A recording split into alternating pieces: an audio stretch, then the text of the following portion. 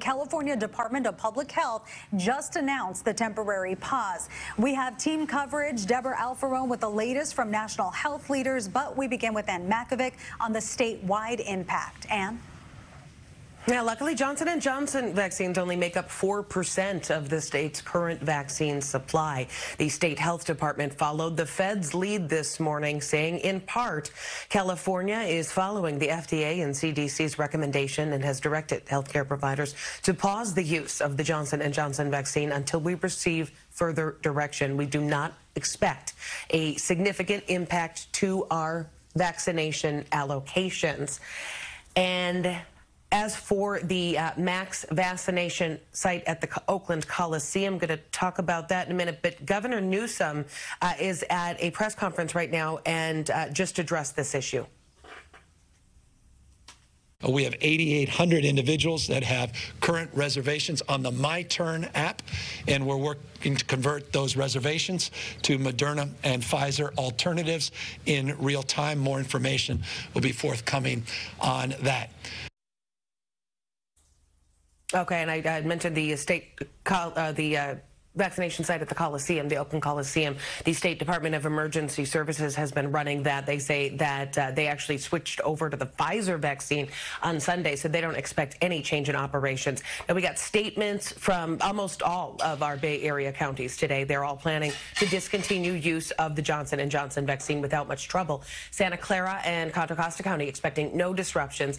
In Napa County, they did have a J&J clinic set up for today for 100 people, but they're just switching to Moderna no problem. In Marin County, they say this will mainly impact their mobile operations, but that is only about 3% of their supply. And San Francisco's COVID Command Center reminded people today the Pfizer and Moderna vaccines are proven to be highly effective at preventing hospitalization or death from COVID-19. The longer you wait to get vaccinated, the greater the risk of contracting COVID-19. Now, the governor just said he is still expecting a June 15th full reopening of California despite this setback. But of course, everybody waiting for the next move from the FDA.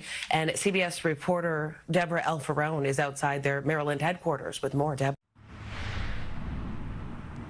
And Ann, I can tell you this is really a big deal, a big shock to many people hearing about what's going on here. But really, at this point, a link has not been determined between those blood clot disorders and the vaccine. Still, though, they're halting the use of this in an abundance of caution.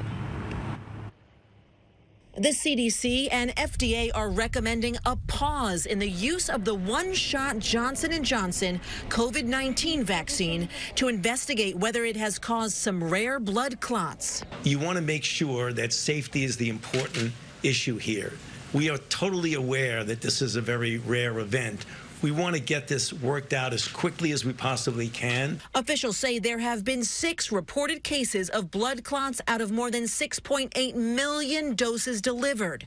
All six cases occurred in women between the ages of 18 and 48, and their symptoms developed 6 to 13 days after receiving the vaccination. There have been six out of the 6.85 million doses, which is less than one in a million.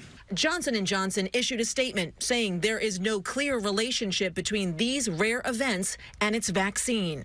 There have been similar blood clot concerns with the AstraZeneca vaccine, which is not yet approved for emergency use in the U.S. What we're seeing with the Janssen vaccines looks very similar uh, to what was being seen with the AstraZeneca vaccine. White House officials held a conference call with governors this morning, and they reassured state officials that they can still get a vaccine to everyone who wants one. We have more than enough supply of Pfizer and Moderna vaccines to continue the current pace of about 3 million shots per day.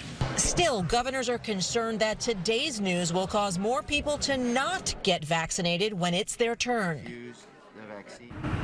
And that's the thing is halting the vaccine is really going to uh, potentially go a long way in people losing confidence in it, even though nearly 7 million people have gotten a shot of this vaccine, Len. All right, a bump in the road, but hopefully not a big one. Deborah, as we move forward, thank you.